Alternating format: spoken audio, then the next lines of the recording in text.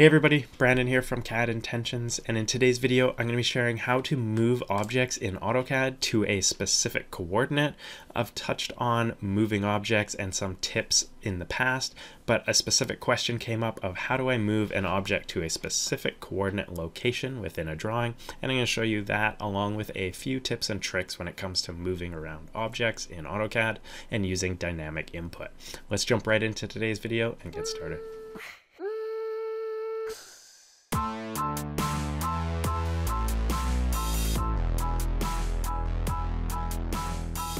Alright, so as I mentioned, today we're looking at how to move objects in AutoCAD, and in particular, how to move them to a specific coordinate. So to start, I've got the coordinates displayed down here at the bottom, and I've also got dynamic input turned on.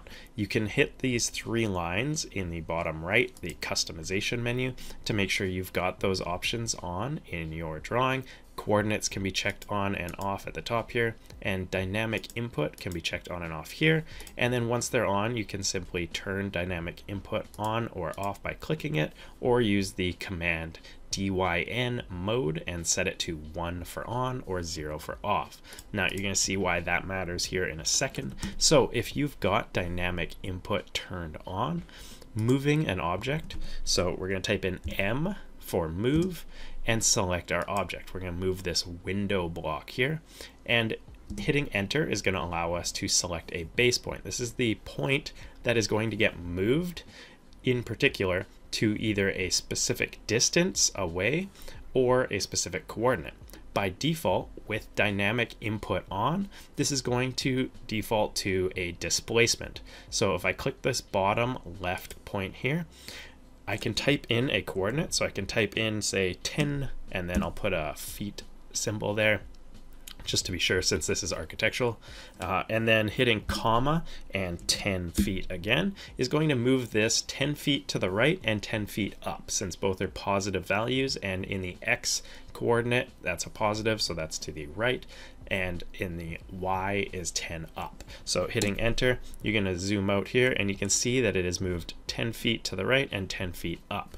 Now, what if we wanted that to go to the 10 and 10 coordinates? So you can see where my mouse is here, looking at those coordinates down below. This is approximately where 10, 10 is. So if I wanted it to go right there, you're going to need to add something if dynamic input is on. So we're going to select our object, type M, we're going to choose that point again, and instead of just typing in our displacement numbers, you're going to add the hashtag symbol. Now, you can do that by holding shift and hitting 3, and you can see, now we'll do that again. So we're going to type M for move, click our object, hit enter, select our base point, which is this bottom left, and we're going to hold shift and hit 3 to add the hash uh, hashtag symbol or pound sign. And we're going to type in 10 with the feet symbol and then comma for the Y and 10 and the feet symbol. So that is the coordinates. The X is the first coordinate, so that is the 10 foot coordinate and 10 foot as the Y and we're going to hit enter and you can see it's moved it right there. Now we're going to do that one more time and I'm going to show it to you with dynamic input off. Now if you have dynamic input off which means that the text and uh, coordinates aren't popping up right where the cursor is, they're coming up only on the command line, then it's the opposite. By default, the move command is going to place your object in a specific coordinate if you type it in. So we're going to type in it's going to ask where the second point is. I want it to go to the 1 and 1, which is down around here. So I'm going to type in 1, comma 1, and you're going to see that it's moved to the 1, comma 1 coordinate. Now, if I want to leave dynamic input off and use and use displacement, you can use the at symbol to get that to work. So we're going to type move, select our object, choose that bottom left, and instead of the pound sign or hashtag, we're going to use shift 2 and then we're going to say 10 feet comma 10 feet. So this is going to move it 10 feet to the right and 10 feet up back up to this area over here. Now you can see this is pretty simple, but it's not always straightforward. So again, if you have that dynamic input on, all you need to do is use the pound or hashtag symbol before you type in your coordinates, and now it's going to move your object to an exact coordinate with AutoCAD. Now, if you've watched my other videos on moving objects, you know there's quite a few different options. One is you can select all of your objects, type M for move, and then simply choose a base point and drag them around if you don't care where they are specifically specifically. You can also do this and hit M and snap to objects. That's an easy way to move objects around as well.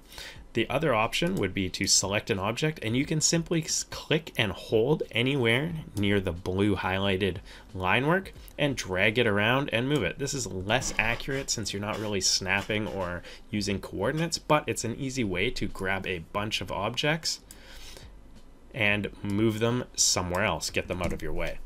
Most of the time in AutoCAD, you're going to want to be accurate and use actual dimensions or displacement distances, but sometimes you don't care, you just want to move stuff out of your screen and out of your workspace.